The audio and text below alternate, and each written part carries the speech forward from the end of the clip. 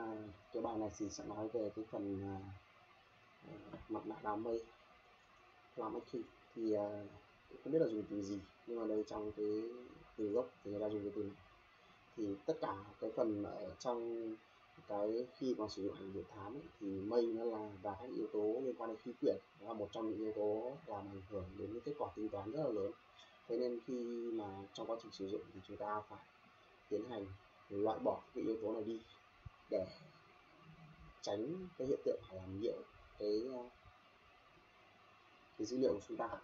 Thế thì ờ, trong ờ, các cái ảnh thì đều có những cái cái kênh ảnh, có những cái giải, đây những cái giải QA này là những cái giải mà để cho chúng ta biết được là nó có những cái giá trị để chúng ta biết là cái điểm ảnh đấy nó có bị rơi vào mây hay không, để về sau khi tính toán chúng ta có thể có cái cách để loại đi.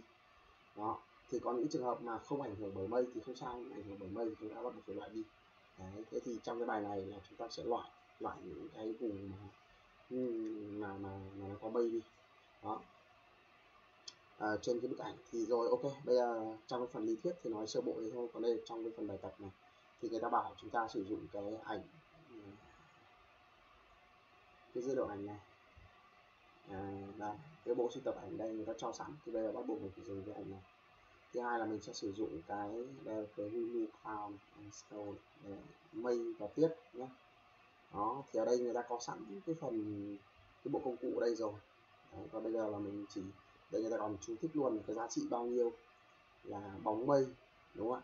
Đấy, và các cái phần thông số khác đây thì bài tập đấy thì rất đơn giản. Đã áp dụng cái, cái, cái bộ lọc mà họ đã có sẵn đây rồi đây.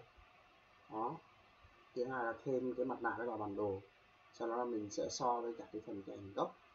Để mình xem xem là cái kết quả như nào. Thế đây cái phần này bài làm rất nhanh mình đã làm trước rồi. Mình copy lên trên này để cho và giải thích cho mọi người. Để cho nó không nhanh. À, done.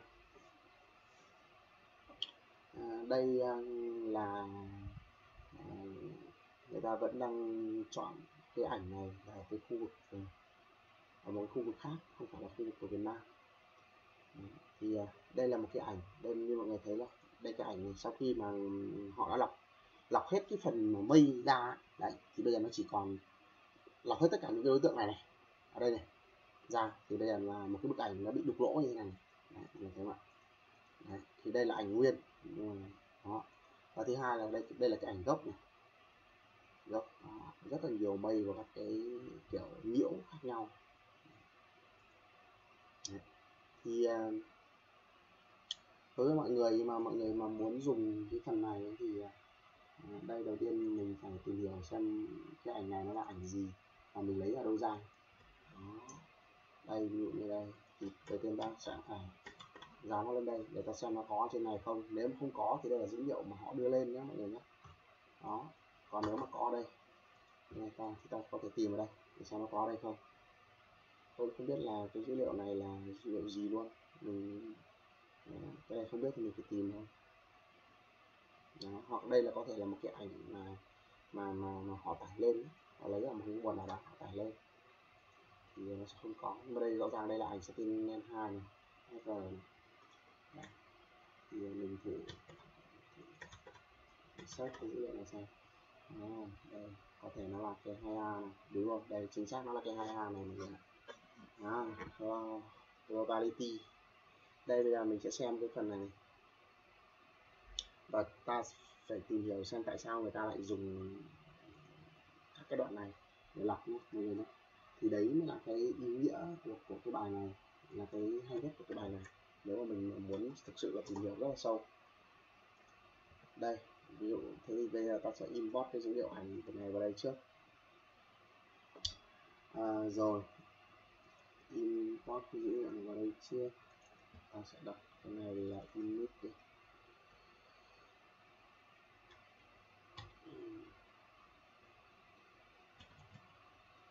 đó rồi ok à, kích thích chúng ta sẽ đọc cho nó giống luôn này thì cái tên này thì nó sẽ lấy cái dữ liệu ở đây luôn.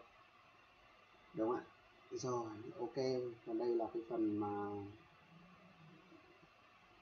mà nó sẽ nó sẽ lấy nó sẽ lấy cái ảnh nó sẽ lấy cái dữ liệu và để nó lọc.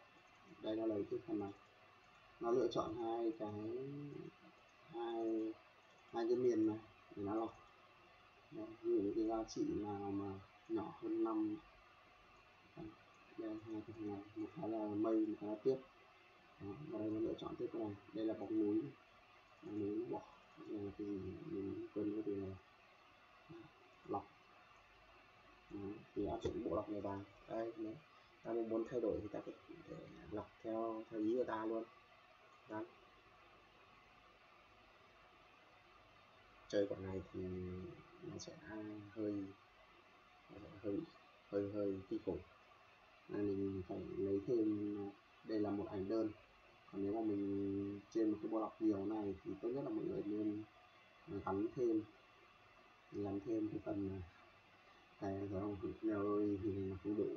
Là sao ạ? À, vì là mình chưa định nghĩa cho nó một cái vùng. Cái này mình nên gắn cho nó một cái đoạn uh, một cái vùng vào để cho cái ảnh nó nhỏ đi thì nó sẽ nó sẽ không bị cái lỗi này.